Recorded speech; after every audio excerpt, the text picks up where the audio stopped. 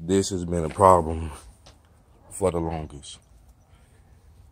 I've had so many rats in my damn house. And they coming from outside.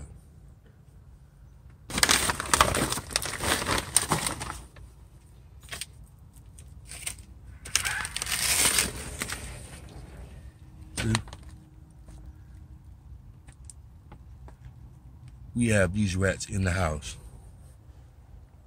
I've killed about 20 of them already. Outside,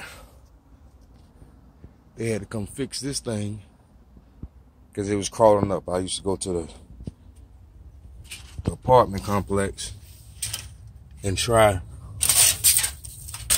See, he went under there. He went under there. He went under there. He went under there. He gonna climb right up that darn wall somewhere. So this is what I've been dealing with out here at the Howard Gilmore. There's another bait box.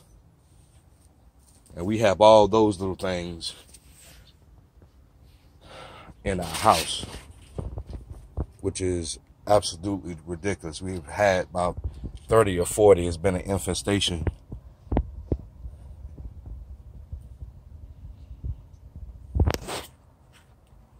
every time I've asked for help, they'll send me some sticky pads. The vents are messed up, as you can see right there. There's clearly a hole on the side of that vent right there where they can get in. Down here at the bottom was the access points as well.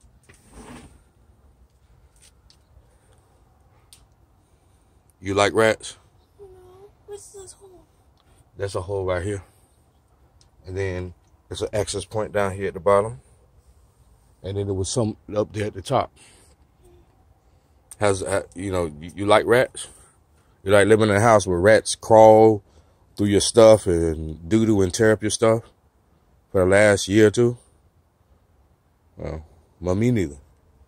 I've been asking for help for a while. I decided to make a video about it. Um, every time I see a new one, I'm gonna make a video about it because mostly in the house. That's the first one I seen outside.